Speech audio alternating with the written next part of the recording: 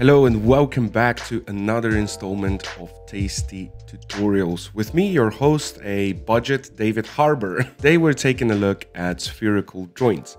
We'll learn how to create a perfect joint uh, with a sphere and also rig it. We'll learn about limit constraints, we'll learn how to use uh, track to constraints, and we'll also do a very short cloth simulation that covers the joint. So let's get into it. So we're gonna open up Blender 2.83. I'm gonna select everything in the scene by pressing A twice and delete with X. Now we want to add a UV sphere, so a mesh UV sphere. This is going to be the lower part of our ball joint. Front view by pressing 1 on the numpad, enter edit mode by pressing tab, then press Z to go into wireframe and let's just press C and then select all of the top vertices of the sphere without choosing the middle strip. Press X, delete the vertices so we get this half sphere. Exit edit mode and press Ctrl A to reset the scale, otherwise our modifiers won't be working properly. And in the modifier properties, we're first gonna add a solidify and we're just gonna turn it around, so at about minus 0.7. And that's gonna be it for our first sphere. Then we're gonna press Shift A again and add another UV sphere. It is extremely important that you keep the center or rather the origin point at the world origin.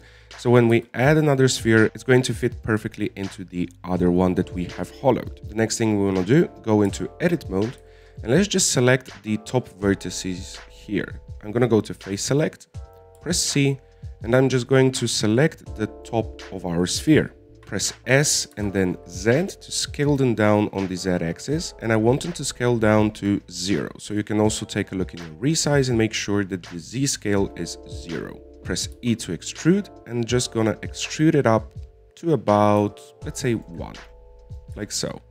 So we have this protrusion at the top. We can repeat the same process for our lower sphere. I'm just gonna turn off the solidify modifier so it's not bothering me. Just gonna select, S, Z, scale it so it's at zero, and then just press E and extrude it down to one. And we have our little ball bearing. Let's just include the solidify, and it looks like this.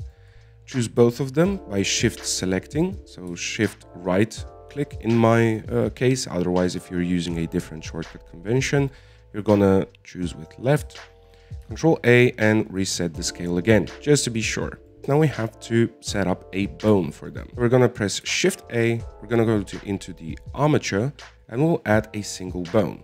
Now, the bone is not appearing, we have to go into our object data properties, viewport display, and then click in front. So we can see the bone in front of our objects. Pull down this bone so the top of the bone is inside of our world origin. Go into edit mode and in edit mode, let's just press E and extrude the Z towards the, let's say the bottom of our protrusion. So it looks like this. Let's go back into object mode. Let's select the top sphere, then shift select the bone and go into pose mode in the top left corner. Click on the top bone and press Ctrl P and then bone. We're gonna repeat the same thing for the bottom. So we're gonna shift select the bottom and the bone the bone should be shift selected last. Enter pose mode, select the bottom bone, control P, bone. Now what happens is that if we rotate our bone, our bone actually rotates along its side neatly inside of the other sphere. But we have a problem. Here, our bone is actually just protruding through, it's basically clipping through the bottom part. We're gonna go back into object mode and we're gonna add another sphere. This sphere is gonna be smaller, let's say 0.3. We're gonna move it on the x-axis, on the z upwards, so it looks like this. Now we're gonna play with the constraints. Basically, we're gonna go back into our pose mode. We're gonna choose the top bone because that's the bone that's going to be moving. And we'll go into our bone constraint properties. And here we'll add two things we'll add a track to and we'll add a limit rotation. Now for the track to, we want to select the target, which is going to be our sphere. And you can see that our top sphere is actually following the other sphere. Let's go into object mode. Now we can move this and you can see that our bone is tracking the sphere. However, we have a small issue. Still, it's clipping. That's why we can just select. We don't have to go back into pose mode. We just select the bone and we're going to limit it on the X and Y axes. Now you can see that it's completely blocked and this is because we have to set the minimum and maximum values. The rotation is going to be limited on the Y axis and on the x-axis. We want to increase this rotation on the x-axis to 90. Increase the limit of the y also to 90. Now let's grab our sphere and let's see what happens. So it stops right at the cutoff at the 90 degree mark. However, it's not stopping where the sphere is. We're gonna go back into our bones and we're gonna set the minimum of 11 which means that now we have a range where the bone actually stops. If we want to fine tune this, we're just going to go into front view, press GZ, and then move our sphere so it's directly on the x-axis. Going to choose our bone, our constraints. We're going to zoom in so we see what's happening, and we're going to increase the minimum so it's barely clipping with the bottom of our sphere. That's how we make the joint follow our sphere. And this has many applications. As you can see, it's working both ends. It's also working on the y-axis. It's going to work in both ways. And the beautiful part is, if we move it to the world origin, so we're going to move the sphere to world origin, raise it up to the Z, you can see that it's following the Z perfectly. Another fun way you can try this is you split your screen, go into the graph editor, and in the graph editor, we're going to do something that I often use for my animations. Select the sphere, press I, and I'm going to set a, let's say location, just a location keyframe. So in the graph menu editor, I'm going to press N, modifiers, add a noise, and this noise, I'm just going to increase the strength, and I'm going to scale it so it's really wide. And now if I play my animation, you can see the sphere is just wobbling around the screen and the joint is following it perfectly. So we can do that for all three locations. You can also then offset your locations so that they are not so homogeneous. We can do the Z location too. The Z location is going to be up and down. So we just increase it like so. So it has a lot of, let's say a softer undulating motion. We're going to do it offset. So we have this nice sphere that's just traveling around and whenever it's gonna hit the bottom, it's gonna get clipped by the actual object constraint. So this is just an extra trick you can do. Now, for our final thing here, we're gonna make a sort of a cloth shell around our sphere. So I'm gonna delete the top sphere for now. We can add one later and reassign it. I will add another UV sphere. This one, however, I'm gonna scale it up so it's just wider than the bottom and the top sphere. I'm gonna go into edit mode and face select all of the top faces at the top and at the bottom. If you can see, just go into wireframe so you can see that you've selected everything. I'm going to press X and delete just the faces, so we have this empty plane. We can increase the size of the bottom opening, so I'm just going to select the loop cut at the bottom and then just increase it so it's not clipping with our joint. Now we're going to select the top joint, go into our physics properties, click collision, and the collision, we're going to set it to be pretty tight. So we're going to make 0.01 and the inner is going to be 0103, like so. We're going to set the same collision in the bottom sphere, so 0.01, 0.03. Now we're going to set the cloth.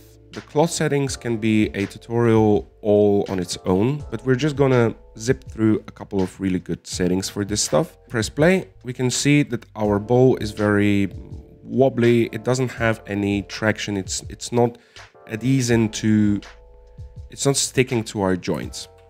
Now I'm going to decrease the end of our animation. So in the bottom right corner, I'll choose end and move it to, let's say 70 frames. I'm going to add a subdivision modifier and move it before the cloth. If you have something like this, don't worry. That means that we just need to update the cache. So you just move at the beginning, press play again, and you can see that we have more geometry now. Shade smooth, and let's add another subdivision after the actual cloth. Let's play around with our settings. First of all, we want to set the collisions. So the collisions, object collisions, we can drop the distance to be pretty close, let's say 0.02. And the self collisions can be set at a friction of 2 and a distance of 004. Now what does this mean? Object collisions are the collisions between the actual cloth and the collisions that we've set earlier and the self collisions are the collisions with the cloth itself. It can make wrinkles, it's going to resist itself. We can see nothing much has changed. You can see if you go really close into it and decrease the distance that it does change. It changes how our material is going to behave, though we don't have that stretching thing that we want to. And that's easily doable with the shrinking factor. Now the shrinking factor means that if it's going to be above zero, it's going to shrink your cloth. If it's going to be below zero, it's going to expand your cloth. Now if you go back to the beginning and press play, you can see our shrinking happening, though we have some issues with our sphere. They're clipping through. One way of solving this is to increase the quality of the collisions and to increase the quality steps of your cloth, which means that the frames and steps are going to be higher, so your cloth will be behaving more precisely. Now let's press play and we can see it is a bit better, but it's still not exactly what we want. Another way of solving this is impulse clamping for both self collisions and object collisions. Let's increase the impulse clamping to 3 and let's return to the beginning of the animation and it's getting there, it's behaving a bit better. You can still increase the quality steps of the cloth and the quality of the collisions so you can observe what's happening exactly to your mesh. So you can see that we still have a bit of occasional clipping, which is again solvable by just increasing both the impulse clamping of the object collisions and the self collisions. Now, the stiffness, I usually go after I've set up these settings because the stiffness, the tension and compression are kind of self-explanatory. So compression is how much the material will resist compressing when you are trying to stretch it down. And the tension is sort of the opposite, so how much your material will resist stretching. Now, let's just pull these guys down to 5 so that they're not as high as they were. And let's see what that does to our cloth. So it's a bit stretchier. It takes a while to bake the particles, but you can see that it's behaving quite alright. So for now, our cloth is behaving appropriately. For now, our cloth doesn't have very strong clipping.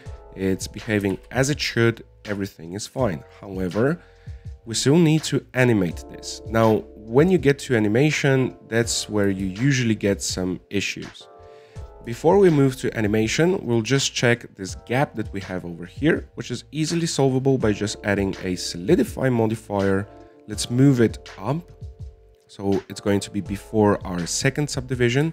And let's just regulate the thickness so it's nicely hugging our sphere. We can increase the viewport so we have just a bit of a better reproduction, but that's it. Now, we can add also different subdivision modifiers to these, but I usually, when I'm doing this in the prototyping phase, I don't do that because it's going to take a lot of computing power. So usually I do that at the end of the whole thing. Now let's animate again our bone and let's see how it's going to behave. Let's add a mesh UV sphere again. We can pull it up. We can move it to the side with Y, scale it down and let's click on our bone, go into the bone constraints, target. You can use the eyedropper to just click on the sphere. Now let's return our sphere to the world origin, move it up on the Z axis so everything is lined up. Let's keyframe just a very simple movement. So we're gonna put a location over here. So I location. Then we're gonna move, let's say to frame 60 we're going to press GY and then move it on the Y axis and maybe even on the x-axis. So we have like a sort of diagonal movement. If we want to check what happens, we can just play it, but it's going to take a while. So I'm just going to very quickly bake this. And you should always bake your cloth simulations, your particle simulations before final rendering. So I'm gonna go into cache, set the end to be at 70, and I'm gonna press bake. When your cloth is baked, let's just press play and let's see what happens with our sphere. Yeah, so you can see that it's pulling our cloth nicely. It's stretching it in a really, really satisfying way and it goes both ways. So basically you have this really nice wrinkle, nice plastic wrinkle. So this is going to be it for this tutorial. We made a nice spherical joint, we animated it, we learned a bit about uh, constraints, about tracking, about limit rotation, and we've learned how to make a nice cloth simulation that really closes in on our joint. Hopefully this was helpful to you. If you'd like to see me continue this one with uh, textures and more advanced modeling, let me know down in the comments. Uh, drop a like, I always appreciate that. It helps me out a lot. And yeah, that's gonna be it. See you in the next one.